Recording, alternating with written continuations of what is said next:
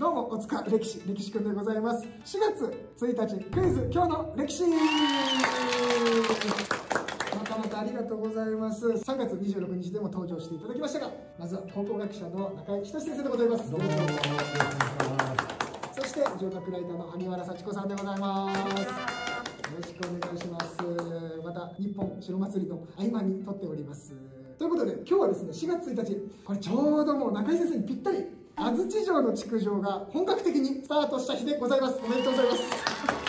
おめでとうございます。築城した人みたいな。はいえーまあ、新宿後期にね登場して石をたくさん運んで選別して作り始めたとかあとは天守の築城を命じたというのもね記録に残ってますけどもいまだにあれですね謎だらけというかねねあれニュース、えーと赤色立体地図、はいはいはいはいあれでまた新しく車が発見されたというのをニュース見ましたけど。まあでもあのまあここでぶっちゃけて言うとあ言ってください。あの、えー滋賀県の教育委員会新しい車が見つかったって言ってるけどあんなのみんなもうすでに知ってますこの間この間もあのそれ言ったんだけど。なんか4箇所ぐらいあのいや城歩いてる人間はおそらくみんなあれ知ってると思う。えっと僕あっちは行ったことがなかったです北の奥のはい、方、はい、あの行ったことがないっていうか立ち入り禁止なんですそうそうそうそう。あのえっ、と天守台があって、はい。その麓のところも行っちゃダメで動フロアから向こう行けない。そうですよね。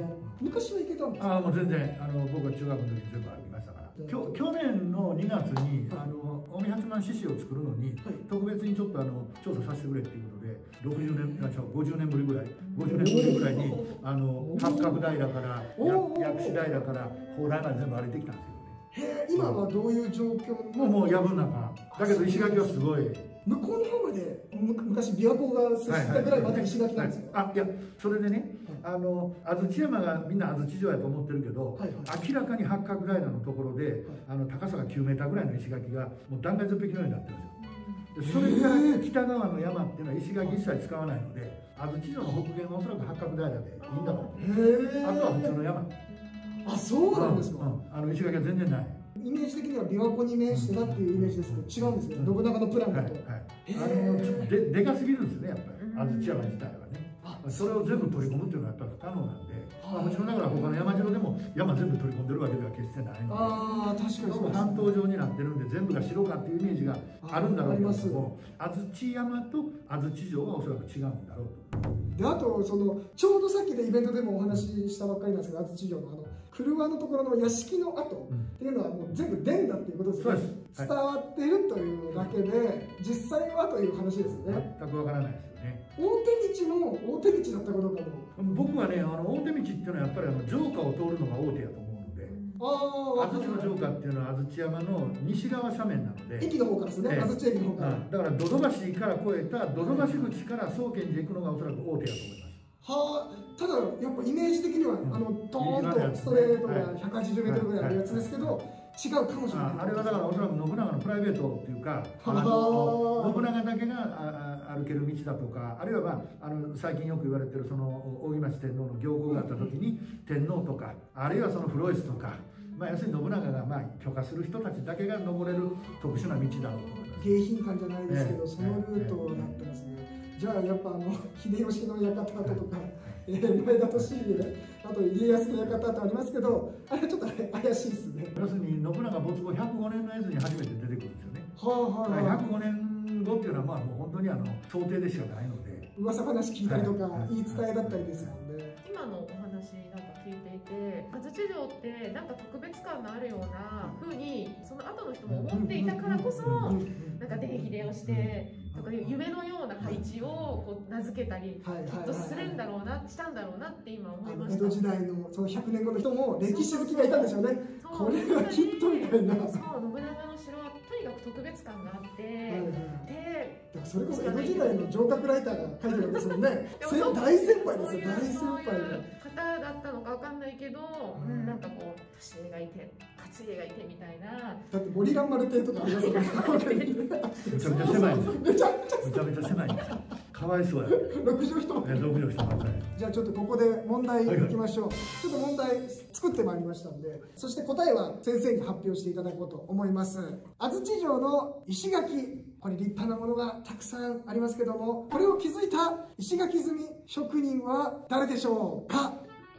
という問題でございます。滋賀県は石垣のお城めちゃめちゃありますもんね本当にね。羨ましいですよね。関東東京ですからね。羨ましいです。僕は埼玉ですけど。僕てっきり中井先生あの滋賀県出身かと思ってましたけど今日。滋賀県はこんな人いないどういう？どういう人？どういう？もう少しあの奥ゆかしい。いやいや十分十分というか奥ゆかしいですかなり奥ゆかしいですよ。え大阪枚方なんですね。うんであのお城好きになったきっかけ淀淀の淀城という話をねさっきお伺いしましたけど面白かったな。淀城が近くにあるという羨ましいすごいですよね関東人からすると。ですねいやでもなんか昔それこそあの学生時代に関東の東京の仲間からねはい。車が通るあの対抗できる土橋なんか関西にないやろとかね。あいろいろ土の城の自慢をされまして、えー一時すごいあのその関西の城ってそういや小さいよなと。そうあーそういう。たた滝山とか例に出されると。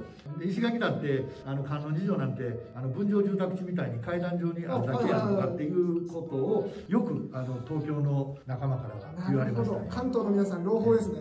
え土橋でマウントを取れた 土で勝負みたいな土で勝負土で勝負みたいなねじゃあこんなところで正解いきましょう、えー、安土城の石垣を作った職人集団正解をお願いします。えわかりません。わかりませんなんですよ。これ結構衝撃ですよねえいやあの州でしょ先生。普通はあのあの州ですよね。鼻に太いとはい、坂本の地域の、ええはい、立派な石垣が街中にもたくさんありますよ。よくご存知で。あの州ですよ、はい。先生。でもあのー、とここであのーっていうのが あの州というね。もう奥ゆかしいんだから先生あもというかえっ、と新朝後期とか当時の記録にはあのってのは一切出てこないんですよね。そうなんですよ。これびっくりしただから河原は奈良州が焼いただと。か、はいはいあーまあ障壁画は永徳が描いただとか、書いてあるんですよね、えー大工さんは岡部又右衛門だとか、はいはいえーいろいろ書いてあるんだけれども。石工は一切書いてない。奉行の名前だ奉行の名前。ですよね担当した、うんってことはじゃあまず分かんないってことですね。入り口が。安土を作る前に信長は岐阜で、はい。え近年あの岐阜で石垣たくさん見つかってますし、はい。さらにその前の小牧でも、えー発掘で石垣が出てきてるということは、信長はおそらくもう永禄6年とか永禄10年の小牧岐阜ではい。石工というか石垣作ってるわけですよ。1560年代、ええ。その石工たちを連れてこずに近江で、はいえーその阿能だけでやらせるかっていうと私はそれは違うだろう。現実的ではないですね。もともとのやっぱり抱えてる石工集団たちをやっぱり連れてくるんだ。で記録もないっていうことですから、はいあれ江戸時代のあれですよね。えそうです。ー、となんだっけ高校明明瞭公明瞭公明瞭公明瞭公明明瞭公藩に出てくるだけで、はい。でもそれもそれこそ上角レターのそう。そうそう、江戸時代の上角レター100年、100年後ですよね。上角レター嘘く言うけど嘘嘘の歴史を残す。職業みたいなちょっとちょっと語弊があったねでお城好きの方が調べてあの州っていうのがいたそうそうそう、あの、だから、もやっぱり比叡山の山麓で、はいあの、えー比叡山のえー石仏とか五輪等を刻んでたんだけれども、信長が安土に城を作る時に、それに、えー行って、今度もうそういう石仏とか作るのやめて、石垣を積む職人になったんだというのが、先祖優勝書きみたいなのに書いてある。だから100年後の話ですから。とじゃあちょっと持ってきてあもうだいぶ持ってると思うんですよね。なんかあの州をあの州も登用していた可能性があるというくそうそうそう。ことそう。そう。だからおそらくその監督は僕はあの小牧岐阜の時の監督が自分たちの石工を連れてくるけれども安土城でかいんででそれだけでは時間がかかるからあ近江の職人集団なんかも動員させたわけですなんかお寺とか山ごとにいますよね、石膏集団が。いくつかあってそりゃそっか一個に任せるわけはないですよね。だからあのその時にはおそらく来たんだろうと思います、でじ実際その後はあの州は活躍はあったんですもんね。全国的にね。でスタートをちょっとく繰り上繰り上げちゃった。なんだちょっと早めちゃったってことですね。なこれ結構衝撃でした。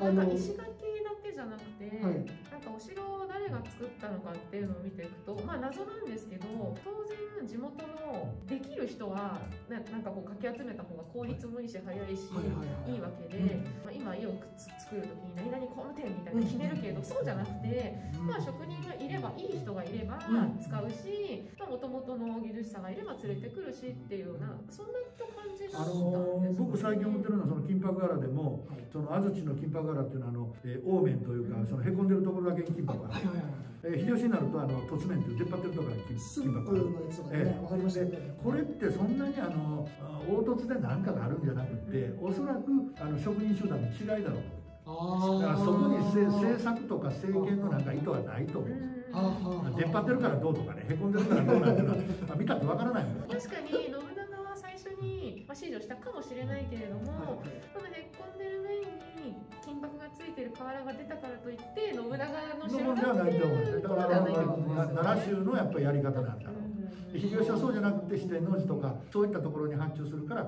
出っ張ったところになってるとかねなるほど。石石垣もやっぱりそうそうだと思うんですよ。やっぱり信長はもともと使った連中はやっぱりいわゆるう指揮官というか監督させて、はい。で監督者たちはやっぱりあの信長の城ですからいついつまでに仕上げなあかんということになるとそれだけの人数寄せてこなあかん。だから近江でああのっていうところに石工おるから呼んでこいみたいな形でもちろん使われてはいるんだろうけれどもあれですよね観音寺城とかとまた違うんですよね。えっとね観音寺は石の作り割りや方矢穴が入ってるんで。いやなんてこう石垣刺してて割れ目をつけてパカって割るんですけど。なかなか割れないんで嫌やな。って奥ゆかしい奥ゆかしいよもう。だから20年前に矢穴使ってるのにはい。安土にはないわけですだからもう全然違う技術者別ってことだから、職人集団としては美濃か尾張どっちに由来のある方かもしれないということで、はい。またここからの研究が楽しみですね。そうですね。ということで今日は以上でございます。えっ、と退退職されたという退職いやもうあとあと10日ほどのあのはい、えっ、と過去4月1これはもう日あ4月1日。だってことは僕が、え体ー感。体感してなんかあの名誉教授になった一番最初のこれあおおめでとうございます。おめでとうございます。これからもぜひねお城業界をますます発展させていた。だければといつもお世話になっております。ありがとうございます萩原さんもよろしくお願い。します。このこともね。はい、嘘は書かない。ように。